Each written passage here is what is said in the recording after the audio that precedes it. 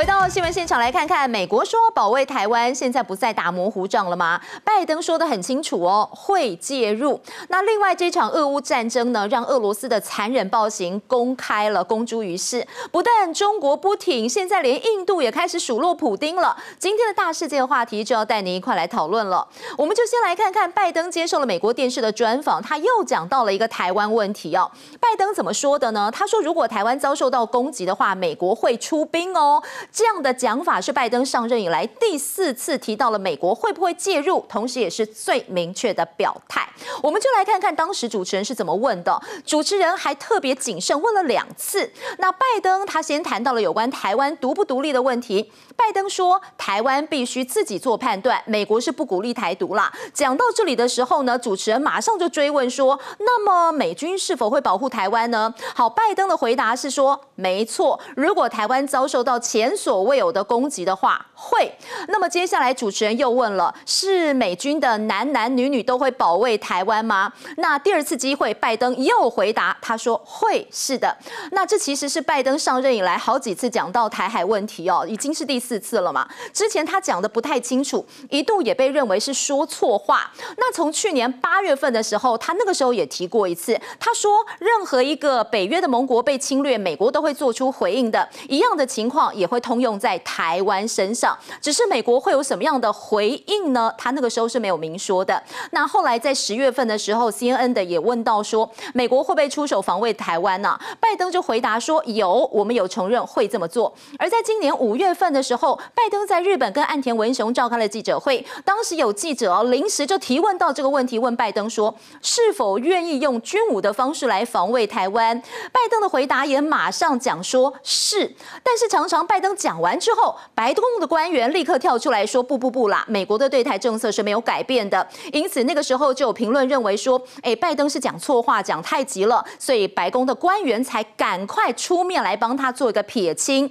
那么这一次他讲话讲的算是非常明白喽。他讲完了之后，白宫的官员还是一样跳出来哦，也是讲同样的话，说美国政策没有改变啦。拜登呢，他身为三军统帅，他讲的是自己的看法，只是这会儿大家就看得非常明显了喽。拜登自己讲自己的，美国的官员也讲他们的，两边是不同调的。有国际专家就认为说，这根本是制造。战略的混乱哦，那另外有台湾学者认为说，相同的戏码已经上演这么多次了。其实拜登心里他早就有自己的想法啦，他已经有定见了，他已经在画红线了。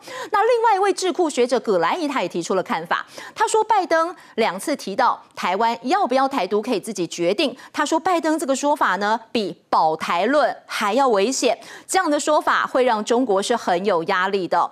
而拜登从战略模糊到清楚表态。似乎也是意会到了中国的野心越来越明显了。中国侵犯台湾，现在还传出进入了。倒数五年的时间呢？我们先来看看中共呢对台湾用的是两面夹击的方法，从海面上，从空中，现在是一起进行的。我们先来看看台湾在这个地方，左边这一条是海峡中线嘛？那左边的部分呢，空中就是对台海中线的一个侵扰，这一直看起来是没有结束的。光是在这个月的十七号，二十五架的军机绕台，两个架次逾越了台海中线。那这一次还首次出现了什么呢？出现了彩虹四的无人机。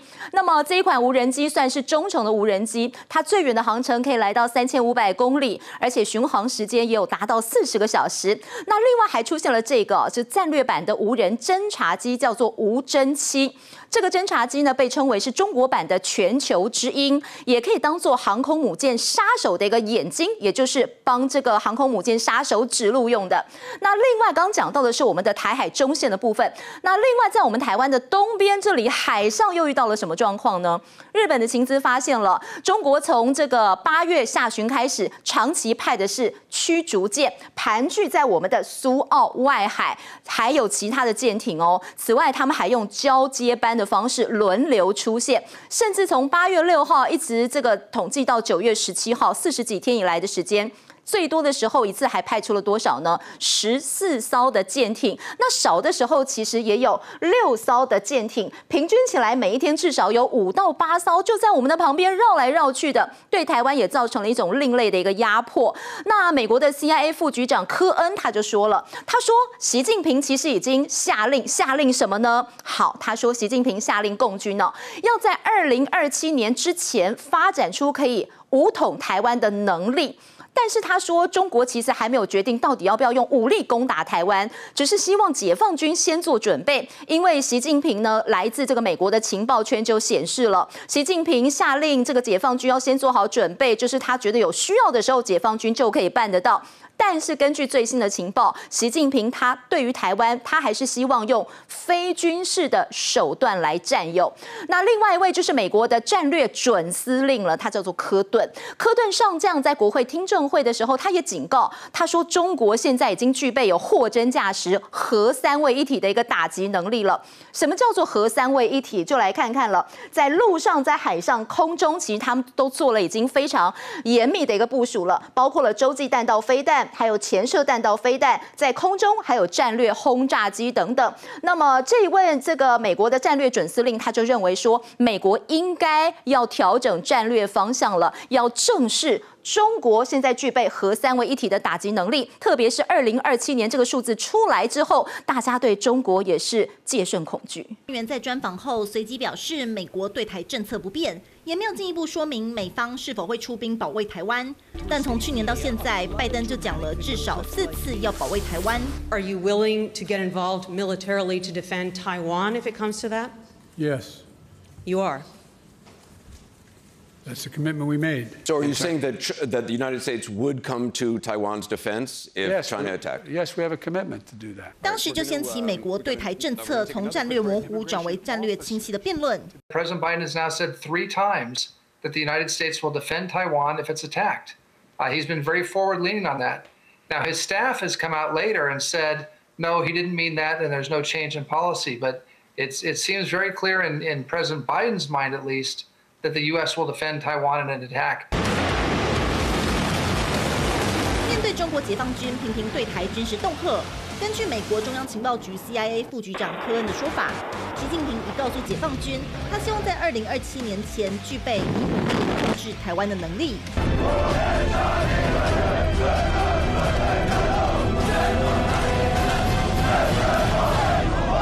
而中国去年成功研发难以追踪又能携带核弹的高超音速飞弹，如今美国将领再次示警，中国核武不可同日而语。We have seen the incredible expansiveness of what they're doing with their nuclear force. They have a bona fide triad now. 拜登提名接掌美国战略司令部的空军上将科顿不讳言，从2018年开始，中国核武迅速发展。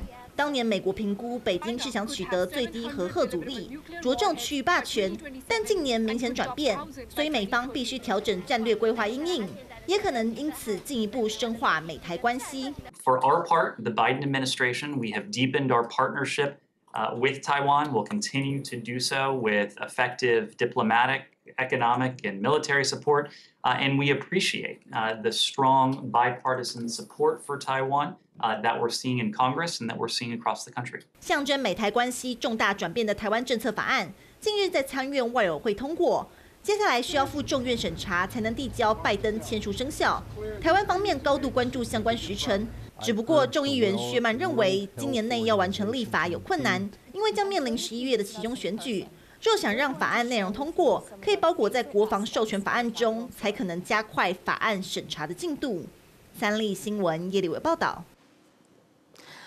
战争两百零六天了，那么乌克兰的战事呢，不但对俄罗斯越来越不利，甚至还出现了乱葬岗哦。那难道就是因为这样的乱葬岗，让国际之间真的是吓到了？国际之间原本要挺俄罗斯的话，现在立场都出现了松动，挺不下去了嘛？我们先来看看战事的部分哦。这张这个乌克兰乌东的这个地图呢，其实蓝色的部分呢是乌军现在慢慢收复的土地，是越来越往这个俄罗斯来靠近了。那红色的部分呢？还是目目前这个俄罗斯军队所占领的地区。那现在两边是怎么喊话的呢？乌克兰喊出了几句话，他们说要解放卢甘斯克，也传出乌克兰的军队现在不断的炮击，把俄罗斯的这个呃这个军队人员呢逼到了边境，也就是贝州这里哦。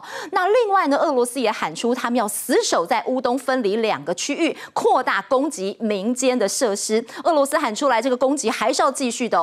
而在战事上面，让乌克兰占上风了其实好几次传出，普丁可能会使用核武或是化武。那拜登这次接受专访的时候，他特别讲到了这个问题：有没有可能普丁会使用核武跟化武呢？拜登对这个议题，他非常激动的说了三次不要啊！他说 no no no。那他喊话普丁说，一旦用这个核武或化武，会改变战争形态的。不过现在的乌克兰战争，只要扫过的地方，真的是像人间炼狱，大家都看得清楚，因为画面都出来了嘛。来看一下乌东的城镇一九亩，这里被发现了十多个地方都是拷问处哦，不少平民就是在这里被刑求还有电击的。那另外甚至还发现了总共有四百四十五座的乱葬岗，甚至有好几百具的军人跟平民的尸体被发现的时候，他们生前死状非常凄惨，不但四肢被打断，头部呢还被套绳圈，而且是遭受到了行刑式的一个枪决死法。那另外我们看到，同样在乱葬岗里里头还发现了这个哈尔科夫还有大屠杀，有一个六岁的小朋友，一家三代就死在俄军的一个炮火攻击之下。那么对于这些乌克兰的残忍暴行，有俄罗斯的议员被问到了这个问题，他怎么说呢？他还不认账哦，他说这些死者是乌克兰自己留下来的。原来是他认为是俄罗斯的军人好心埋葬，这样的说法当然不被大家所接受啊。虽然普丁说过，他说俄罗斯并不孤单，但是随着这些俄罗斯残忍的暴行一桩一桩、一件一件的曝光之后呢？有些大国纷纷决定要跟普丁现在保持距离了。我们就来看看之前这场会议就非常的清楚哦。这张照片呢是各国领袖的这个晚餐餐宴的合照，非常明显看得到大家都参加了晚宴，而且也合影留念了。普丁我们看到他站在中间比较偏右边这个位置，但是画面当中缺了谁呢？缺了习近平，因为防疫的关系，他并没有出席在晚宴，当然也没有跟大家拍照了。那另外原来。还缺了一个人，就是印度的总理莫迪。原来他也没有出现呢。其实之前拜登就不断警告过习近平了，如果违反对俄罗斯的制裁，会犯下滔天大罪的。那习近平在这场会议当中，确实他完全没有提到乌克兰三个字，也没有真的去挺这个俄罗斯。而莫迪呢，他虽然有去开会，但是他不但没有跟普京参宴，两个人在进行一场这个双边会谈的时候，莫迪甚至还。教训普丁哦，莫迪不但没有出席参宴，他还讲普丁哦，他说跟你说，现在不是战争的时候啦。那路透社就对于这个部分有进一步的报道了。路透社的报道就指出说，普丁对于莫迪的指责呢，其实当下他愣住了，觉得有点惊讶，但是普丁只好抿了抿嘴唇，他看了莫迪一眼。然后他又摸摸后脑勺，那普丁也回莫迪说：“好，我会尽全力的、努力的结束这个局面。”但是现在看起来好像也是没有什么办法的。那印度呢，似乎对俄罗斯也不满了。但是我们就来看看印度跟俄罗斯的关系接下来会有什么样的变化呢？以前他们又是一个什么样的依存关系呢？其实印度一直以来，印度不但会跟俄罗斯买什么买油，而且买一些能源，另外还会跟他们买的是军事的买。武器。那么从战争爆发以来，中国跟印度呢就不断的向俄罗斯其实进口石油。其实中国跟印度向俄罗斯买的油早就已经超过了欧洲国家了。去年八月份的时候，印度原本跟俄罗斯只进口几十万桶的油哦，今年我们看一下这个黄色的数字，已经增加到将近进口一百万桶了。那除此之外呢，印度也向俄罗斯买了超过十亿美金的一个肥料，还打算签三年合约呢。这个是在一些这个原物料还有在原油的部分。那另外，印度跟中国啊，印度跟俄罗斯的一个依赖状况呢，其实印度也一直是他们最大的一个武器买家，有三分之二的军事装备，包括了战机，包括了船舰，包括了航空母舰，包括了导弹，其实印度之前都是大量跟俄罗斯来购买的。那印度在能源上，在军购上，明明就对俄罗斯有非常大的依赖，但是印度在国际关系上面一直也都都是两面手法，大家都知道嘛。印度的处理方法一直都是我谁都不得罪，而且也都不选边站。但是随着现在的国际情势发展，印度自己也知道了，必须要减少对俄罗斯的一个依赖，逐渐跟其他的欧洲国家来。购买武器，那这次刚刚也讲到，莫迪甚至还直接数落俄罗斯哦。那印度的两面外交手法会因为这次战争出现什么样的变化呢？一起来看看。俄罗斯装甲车残骸散落一地，随着乌军光复一九亩，CNN 也挺进当地，揭开俄军占领期间在此进行惨绝人寰的屠杀行为。We are told and can smell and see is a mass grave. where seventeen dead were found, a policeman here told us. 一座座十字架矗立在地上。根据 CNN 报道，一九亩一处乱葬岗至少有多达四百四十具尸体。当地民众甚至在一封信上发现令人心碎的讯息。Жінка його Яковенко Світлана Сергіївна під номером 164 і мама мого брата Яковенко Наталія Іванівна під номером 174. 乌克兰调查局同时在哈尔科夫发现时间酷刑室以及行刑工具，挖出了遗体，不仅有孩童，部分尸体还有遭受凌虐的痕迹。这些残酷事实都让俄国总统普京遭人唾弃。Don't, don't, don't. It will change the face of war, unlike anything since World War II. 连说三次别用化学武器，美国总统拜登力劝普京切勿挑战国际底线。俄军在乌克兰的恶行，连以往盟友都看不下去。根据乌兹别克总统发布的上海合作组织峰会晚宴照片，多国领导人和普京有说有笑，感觉气氛相当融洽，但就是没看见中国国家主席习近平的身影。难道是要跟普丁保持距离吗？普丁跟习近平之间呢，相隔超过十个人的距离。双方对外公开的声明看，这两人呢相互认可的地方很少。习近平声称，为了防疫不和盟友共进晚宴，但连和老朋友普丁会谈都距离超级远，双方互动越来越尴尬，普丁也只能自找台阶下。Ничего самого главного не было. Это была по сути обычная рядовая наша встреча. 不止习近平刻意疏远普京，让普京尴尬的还有印度总理莫迪。आज का युग युद्ध का है नहीं और हमने फोन पर भी कई बार आपसे इस विषय में बात की है कि डेमोक्रेसी और डिप्लोमेसी और डायलॉग ये सारी बातें ऐसी हैं कि जो दुनिया को एक स्पर्श करती है Я знаю вашу позицию по конфликту в, в Украине. Вашей озабоченности, которые вы постоянно сказываете. Мы сделаем все для того, чтобы это все прекратилось как можно быстрее. К сожалению, только на, на противная сторона, руководство Украины заявляет о, заявил об отказе от переговорного процесса, заявил о том, что хочет добиться своих целей военным путем, как они говорят, на поле боя. 面劝俄军收手，让普丁颜面无光。莫迪重申期盼战火早日停歇，透过对话和外交手段解决旗舰。但印度过去和俄国可是哥俩好。India is one of Russia's key partners. The relationship between our states is of strategic and especially privileged. 俄乌战争爆发后，印度和俄罗斯之间贸易不间断，印度进口的俄国原油量增加六倍。另一个分不开的原因出在武器。India buys somewhere between 60 and 85% of their weapons from Russia, key to containing Pakistan and China along their border. While India is slowly diversifying that spending, they're still under contract to buy a $5.4 billion air defense system from Russia, along with a $3.1 billion line of tanks. 印度的军事装备超过百分之六十来自俄罗斯，就连印度陆军北方司令部前总司令受访都表示。 印度对俄国军事战略装备拥有巨大的依赖关系。